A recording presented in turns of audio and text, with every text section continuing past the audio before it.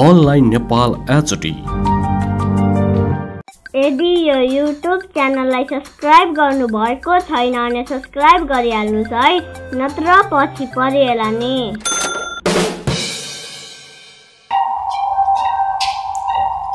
त किन भनिस् भनेर पोखरामा भर्खरै एक युवकको हत्या। दर्शकबिन यति बेला पोखरामा एउटा एकदम डरलाग्दो घटना घटेको छ। त किन भनिस् भनेकै न्युमा एकजना युवकको आफ्नै साथीद्वारा हत्या भएको छ?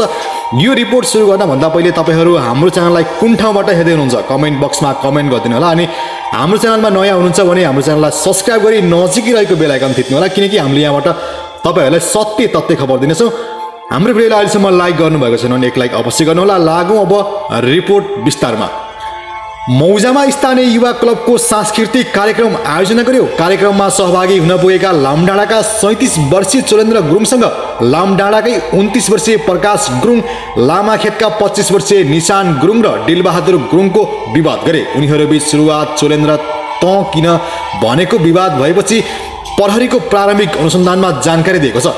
कास्की प्रहरी प्रवक्ता डिएसपी सुन्दर तिवारीका अनुसार सामान्य विवाद सुरु भएपछि उनीहरूबीच झगडा भएको थियो। सामान्य विवाद बढ्दै गएपछि युवाहरूको समूहले चोरले चोकेन्द्रको हत्या गरेको डिएसपी तिवारीले बताएका छन्। झगडाको सुरुवात सामान्य विवादमा भएको देखिन्छ। डिएसपी तिवारीले भने विवाद बढ्दै गएपछि हत्याको घटना भएको अभियुक्त स्वीकारेका छन्। उनीहरूको चक्कु प्रहार गरी चोकेन्द्रको हत्या गरेको प्रहरीले जानकारी दिएको छ। काठमाडौँ बुढा नीलकण्ठबाट सम्पर्कविहीन भएका तीन बालिका मसाज सेन्टरमा भेटेका छन्।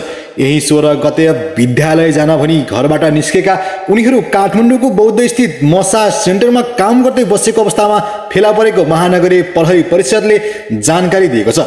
बुढा नीलकण्ठ नगरपालिका तेह्र चुलीखेल स्थित बस पार्क नजिकै डेरा गरी बस्दै आएका उनीहरू स्थानीय विद्यालयमा कक्षा सातमा अध्ययनरत छन्। फागुन सोह्र गते बिहान नौ बजे विद्यालय जान भनी कोठाबाट निस्किएका बालिका घर नफर्केपछि आफन्तले खोजीका लागि प्रहरीमा जाहेरी दिएको थियो।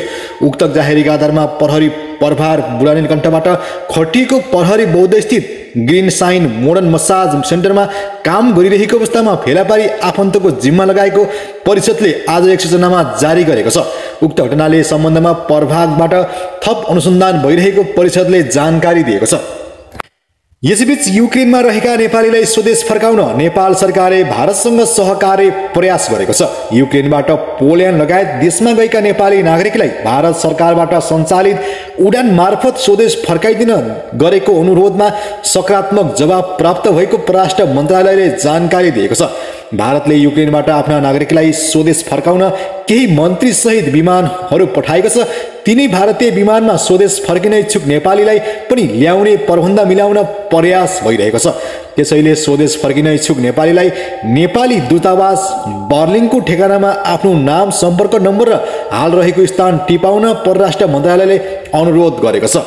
रुसले युक्रेनमा आक्रमण गरेपछि त्यहाँ रहेका नेपालीहरू स्थानान्तर भई सीमावर्ती मुलुकमा पोल्यान्ड स्कोभिया रोमानिया हङ्गरी र मोल्दोभा प्रवेश गरेका छन्।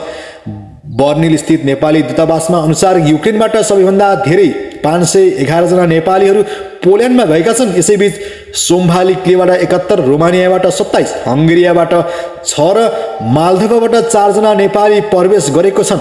युक्रेनको विभिन्न स्थानमा रहेको बाँकी केही नेपालीहरू तुलनात्मक रूपमा सुरक्षित रहेको पश्चिम क्षेत्र तथा जाँदै गरेको केही सीमा क्षेत्रबाट बाहिरिने प्रक्रिया रहेको मन्त्रालयले जानकारी दिएको छ।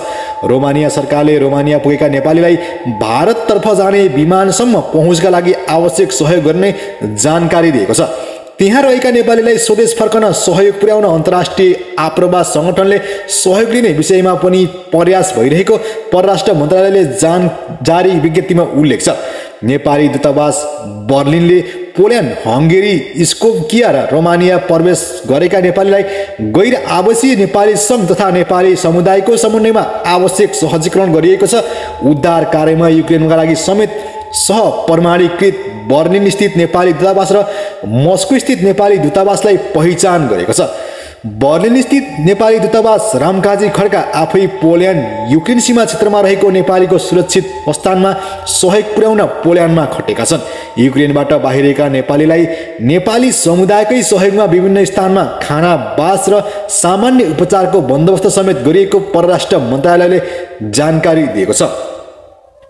यसैबीच राष्ट्रिय सभामा निर्वाचित उन्नाइस सदस्यको आज शपथ ग्रहण हुँदैछ। बिहान एघार बजे सिंहदरबार स्थित कानुन न्याय तथा मानव अधिकार समितिको कक्षमा राष्ट्रिय सभा सदस्यको शपथ ग्रहण कार्यक्रम राखिएको छ।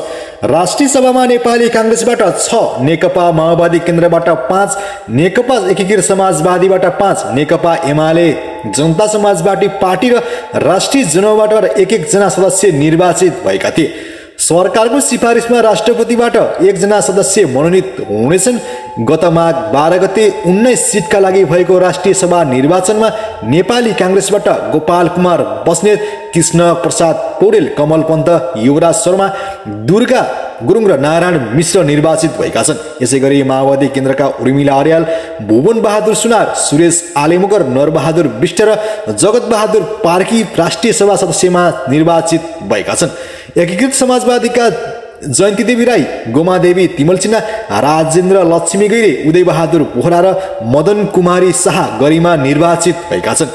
नेकपा एमालेका सुनाम गल्ले शेर्पा जनता समाजवादी पार्टीका मोहम्मद खालिद र राष्ट्रिय जनमोर्चाबाट तुलसी प्रसाद विश्वकर्मा पनि राष्ट्रिय सभा सदस्यमा निर्वाचित भएका छन्। अर्का एकजना भने मन्त्री परिषदको सिफारिसमा राष्ट्रपतिबाट मनोनित हुनेछन्। माथिल्लो सदनमा रूपमा रहेको उन्साठी सदस्यीय राष्ट्रपति सभाको सदस्य पदावधि छ वर्षको हुन्छ। स्थानीय सदन भएकाले राष्ट्रिय सभाको एक तिहाई सदस्यको पदावधि प्रत्येक दुई वर्षमा समाप्त हुन्छ। गोला प्रथाको आधारमा चार वर्ष कार्यकाल पुरा गरेका बिस सदस्यको पदवाही हिजो फागुन बिस गते समाप्त भएको थियो। राष्ट्रिय सभा अध्यक्ष गणेश प्रसाद तिमल सेनाले सिंहदरबारबाट नजिक एक होटलमा ती संसदको विदाई गरेका थिए। नेकपा एमालेका परशुराम घेमी गुरुङ अमर प्रसाद मान्तवराई कविता बोगटी कोमल ओली चक्रप्रसाद स्नेही तैनकला ओझा रामलखन चमार र सुमन राज प्याकुरेल पदावधि समाप्त भएको छ। यस्तै नेपाली काङ्ग्रेसका राधेश्याम अधिकारी गृद नारायण पाण्डे र तारादेवी भट्टको कार्यकाल सकिएको छ।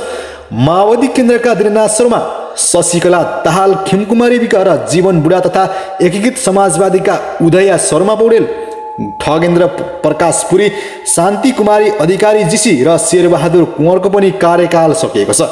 मन्त्री परिषदको सिफारिसमा राष्ट्रपतिबाट मनोनित रामनारायण बिडारीको कार्यकाल पनि समाप्त भएको हो। रुसले युक्रेनमा गरेको आक्रमणको समाचार संलग्नमा खटेका ब्रिटेनको समाचार च्यानल स्काई न्युजको एक टोलीमा आक्रमण भएको छ।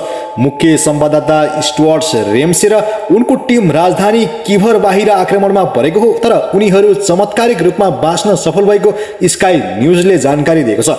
स्काई न्युजको वेबसाइट आक्रमणमा परेको भिडियोसहित समाचार पोस्ट गरिएको छ। भिडियोमा पत्रकारहरूसँग सवार गाडीमा गोली वर्षिएको सिसी फुटेज र उनीहरूको आफूसँग पत्रकार भएको भन्दै चिच्चाइरहेको सुनिन्छ। समाचार घटनाबारे विस्तृत जानकारी दिएको छैन। आक्रमण घाइते भएका स्टुवर्ट्स रेमेसले आफू